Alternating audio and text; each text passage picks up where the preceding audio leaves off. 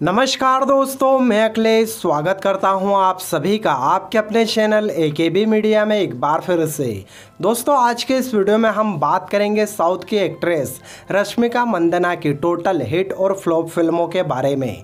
और आपको बताएँगे दोस्तों, इन्होंने अपने करियर में अब तक कितने फ़िल्में बनाई है, उसमें से कितने हिट, कितने सुपर हिट, कितने फ्लॉप और कितने ब्लॉकबस्टर हो चुकी है। और उन सभी फ़िल्मों का बजट और बॉक्स ऑफ़िस कलेक्शन भी मैं आपको बताने वाला हूँ। तो चलिए दोस्तों, शुरुआत करते हैं। देखते रहिएगा पूरा वीडियो। साथ ही साथ कमेंट करके बताइएगा कि रश्मिका मंदना के करियर में आपकी फेवरेट फ़िल्म कौन सी है? तो दोस्तों, रश्मिका मंदना ने अपने फिल्मी करियर की शुरुआत की थी 2016 में।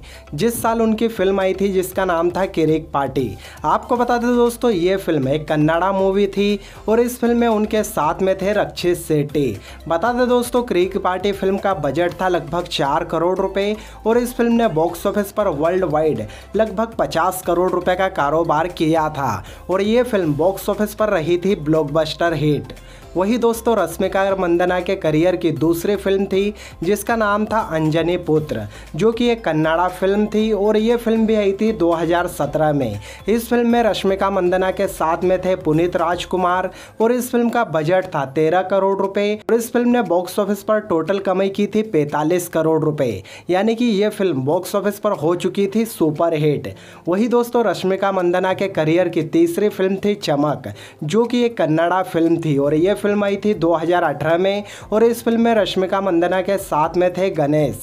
आपको बता दें दोस्तों, इस फ़िल्म का बजट लगभग पाँच करोड़ रुपए था और इस फ़िल्म ने बॉक्स ऑफ़िस पर टोटल कमाई की थी 29 करोड़, यानी कि उनतीस करोड़ रुपये और दोस्तों, ये फ़िल्म भी बॉक्स ऑफ़िस पर रही थी सुपर हिट वही दोस्तों, रश्मिका मंदना के करियर की चौथी फ़िल्म थी चलो, जो कि एक तेलुगु मूवी थी और ये फ़िल्म आई थी 2018 में। और इस फ़िल्म में रश्मिका मंदना के साथ में थे नागा शौर्य।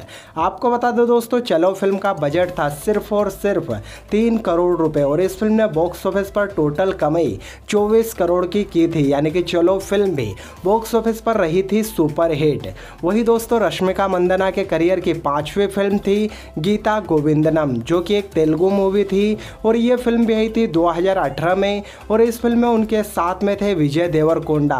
बता दो दोस्तों, गीता गोविंदनम फ़िल्म का बजट था पाँच करोड़ रुपए और इस फ़िल्म ने बॉक्स ऑफ़िस पर टोटल कमाई की थी।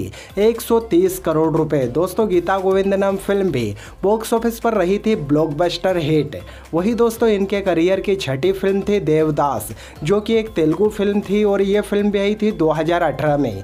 इस फ़िल्म में रश्मिका मंदना के साथ में थे नागा अर्जुन और उनके साथ थे नानी। आपको बता दें दोस्तों, इस फ़िल्म का बजट था लगभग 20 करोड़ रुपए और इस फ़िल्म ने बॉक्स ऑफ़िस से कमाई की थी 50 करोड़ रुपए। यानी कि देवदास फ़िल्म बॉक्स ऑफ़िस पर रही थी हिट वही दोस्तों, रश्मिका मंदना के करियर की सातवीं फ़िल्म थी यजामना, जो कि एक कन्नाडा फ़िल्म थी और ये फ़िल्म रिलीज़ हुई थी 2019 में और इस फ़िल्म में उनके साथ में नज़र आए थे दर्शन बोस, यानी कि एक कन्नाडा सुपरस्टार आपको बता दो दोस्तों, यजामना फ़िल्म का बजट था लगभग 15 करोड़ रुपए और इस फ़िल्म ने बॉक्स ऑफ़िस पर टोटल कमाई की थी तिरपन करोड़ रुपए। यानी कि दोस्तों, यजामना फ़िल्म भी बॉक्स ऑफ़िस पर रही थी सुपर हिट वही दोस्तों, रश्मिका मंदना के करियर के आठवीं फ़िल्म थी, जिसका नाम था डियर कॉमरेड, जो कि एक तेलुगु मूवी थी। और ये फ़िल्म रिलीज़ हुई थी 2019 में। और इस फ़िल्म में रश्मिका मंदना के साथ एक बार फिर देखने को मिले थे विजय देवरकोंडा। दोस्तों, डियर कॉमरेड फ़िल्म का बजट था 20 करोड़ रुपए, और इस फ़िल्म ने बॉक्स ऑफ़िस पर कमाई की थी लगभग 30 करोड़ रुपए। यानी कि दोस्तों, dear comrade film box office पर रही थी एवरेज।